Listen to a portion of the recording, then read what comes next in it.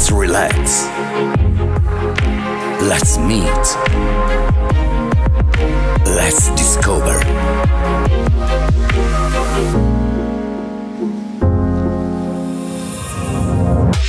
Let's visit. Let's taste.